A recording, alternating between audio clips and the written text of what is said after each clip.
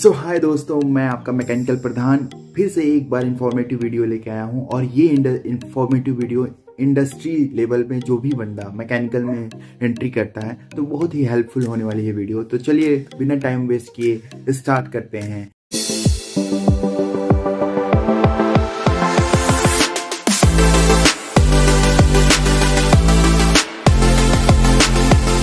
बहुत सारे लोग ऐसे होंगे जिनको नट बोल्ट पहचानने नहीं आता। उस उनके लिए हेल्पफुल होने वाली वीडियो इसमें हम ये पता करेंगे कि नट को कैसे पहचाने और नट कितने प्रकार का होता है। पहले नट पे हम चलते हैं। पहला जो नट है, वो है कैप नट। कैप नट नाम से ही पता चल रहा है कि कैप, यानी टोपी पहना, कैप।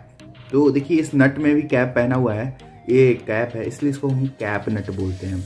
देखिए ये क्या करता है, ये प्रोटेक्ट करता है, किसको करता है? जो थ्रेड्स जो लास्ट एंड में जो थ्रेड होता है, उसको हम ये प्रोटेक्ट करने के लिए कहीं देखोगे आपकी नट बोल्ट नट्स नट्स जो है, लगे होते हैं बट उसके एंड वाला एज जो होता है बोल्ट का, वो निकला होता है। वो क्या होता है? कोई हार्मफुल हो सकता है। बंदे जो हैं स्क्रैचेस बंदों को स्क्रैच लग सकता है। तो ज़्यादातर, सबसे ज़्यादा मैं एग्जांपल दूँगा, जो ऑटो व्हीकल, में ऑटो को आप देखोगे, ऑटो में मैक्सिमम जो है, जो बाहर जो थ्रेड वाले बोल्ट्स निकले होते हैं, उस पर ये कैप नट लगा होता है। या फिर ग्रिल लगी होती है, वो ग्रिल पे भी हम कैप नट लगाते हैं प्रोटेक्शन के लिए कि हमारा जो है, हाथ, पैर, जो भी आदमी ह्यूमन जो है, अगर कहीं उसको हाथ टच करना हो तो सेफ़ रहे। इसकी वजह से हम कैप नट यूज़ करते हैं। यहाँ लिखा हुआ protect bolt threads underneath while the presenting a clean appearance also can prevent skin and clothes clothes को भी फ्रॉम स्नैगिंग ऑन सारपेज सारपेज जहाँ निकला होता है, उसको प्रोटेक्ट करने के लिए हम कैप नट यूज़ करते हैं। दूसरा जो है, उसको बोलते हैं विंग नट विंग नट का मतलब ही समझ में आ गया कि विंग मतलब पंख। ये पंख निकले हैं इसके लिए विंग नट यानी सेप जैसा होगा, वैसा नाम उसका पड़ गया। तो सो ज़्यादा कंफ्यूजन होने की दोस्तों ज़रूरत नहीं है। जैसा सेप ऐसा नाम लीजिए। विंग विंग नट हो गया। दोनों साइड से निकला हुआ पंख, इसलिए हम इसको विंग नट बोलते हैं। The side wings enable quick easy tightening और ये क्या होता है? इससे हेल्प से विंग से आसानी से ये टाइट हो सकता है। इसमें देखिए बहुत सारे बोल्ट नट्स में क्या है, इसको निकालने और टाइट करने के लिए हमें रिंच पाने की यूज़ करना पड़ता है। इसमें मैक्सिमम हम, हमें रिंच पाने की ज़रूरत नहीं पड़ती है अपने हाथ से ही इजीली तरीके से खुल और बन बन सकता है। ठीक है? सो इसको विंग नट बोलते हैं। दूसरा है जैम नट जैम नट का दूसरा नाम भी लॉक नट होता है। यानी ये थिन होता है, पतला होता है। इसलिए हम इसको लॉक नट बोलते हैं। लॉक नट और हैक्स नट में काफ़ी लोग कंफ्यूजन होते हैं। बट मैं कंफ्यूजन को दूर करूँ तो जो हैक्स नट होता है, वो कंपैरिजन टू लॉक नट की मोटा होता है। आ? हाँ? जब आप थिन नट देखो, जिसकी आईडी आईडी ज़्यादा हो और थिकनेस कम हो, उसको हम लॉक नट या जैम नट बोल सकते हैं। ठीक है? तीसरा है फ्लैंज नट। फ्लैंज नट में मैं बता दूँगी फ्लैंज नट हम यूज़ इसलिए करते हैं कि हमारे जब, देखे होंगे पहले के ज़माने में क्या था कि हम वासर लगा के फिर नट टाइट करते थे। अब इसमें क्या है असम्बल दोनों हैं, वासर और नट, वासर और नट दोनों एक साथ हैं, इसलिए हम इसको फ्लैंज नट बोलते हैं। The flange flange serve the purpose of washer. देखिए इसमें साफ़ साफ़ लिखा हुआ कि पर्पस को फुलफिल करता है। Evenly disturbing the load equally मतलब ये लोड भी इक्वली प्रोवाइड करेगा चारों साइड से और typically use in the automotive sector on exhaust maximum use होता है जो ये ऑटोमोटिक ऑटोमोटिव सेक्टर में। सो दैट्स वाई इसे हम फ्लैंज नट बोलते हैं। फ्लैंज नट क्या? वासर और वासर और नट दोनों के कॉम्बिनेशन होता है इसके लिए। नेक्स्ट जो हमारा नट है, वो है कपलिंग नट कपलिंग नट को हम कपलिंग का नाम मतलब ही होता है कि कपल करने, बांधने के लिए यूज़ होता है स्टड्स और उसके लिए. देखिए हैक्स नट ही है नॉर्मल बट ये लॉन्ग है. इसलिए हम इसको कपलिंग नट बोलते हैं. While not typically a bolt nut these are use for the connecting threads rods और pipes together. ये हिसाब से पता कनेक्टिंग के लिए यूज़ करते हैं। दो थ्रेड्स को हम कनेक्ट दो स्टड है या बोल्ट है, उसको भी कनेक्ट करने के लिए हम यूज़ को यूज़ करते हैं। लॉन्ग नट है ये, इसको कपलिंग नट बोलते हैं। ठीक है?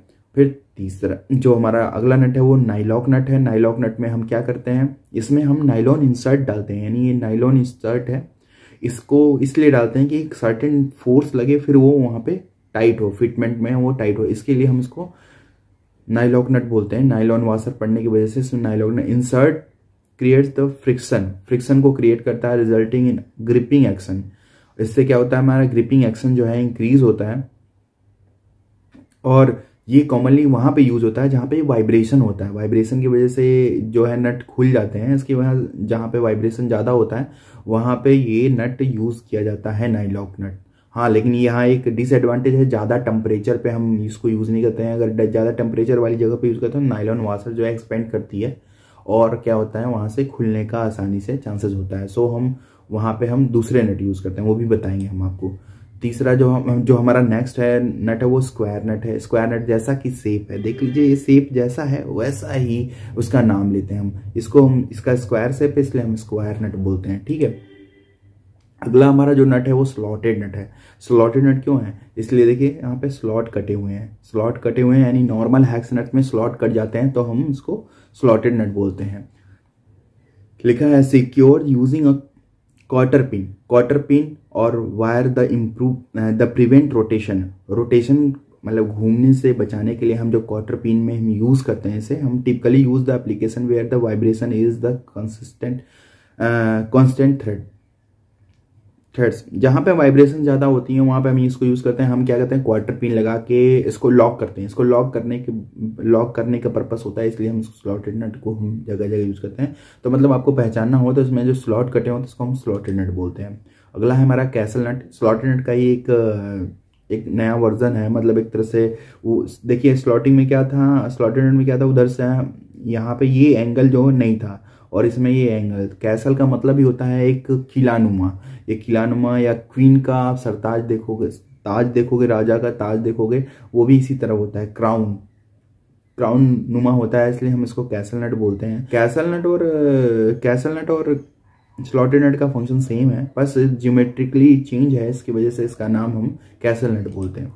And second is the PT nut जहाँ हमने बोला था नाइलॉन वासर जहाँ यूज़ जहाँ एप्लीकेशन ख़त्म हो जाता है। मतलब कि जहाँ पे हीट ज़्यादा होती है टेम्परेचर ज़्यादा होता है, वहाँ पे हम नाइलॉन नाइलॉक नट को यूज़ नहीं कर सकते हैं। वहाँ पे हम इसको पीटी नट यूज़ करेंगे। पीटी नट मतलब prevailing torque nut the distortion of top threads creates the locking action same locking action को करता है which cause the nut to be resist loosing the due to the shock vibration same shock vibration को prevent करने के लिए उसे vibration पर ही खुले ना आसानी से, इसलिए हम इसको पीटी नट यूज़ करते हैं। और इसमें नाइलॉन वॉशर नहीं पड़ा होता है डायरेक्ट ये मेटेलिक में। यहाँ पे देखोगे आप टेपर एंगल होता है। टेपर एंगल होता है माउथ पे।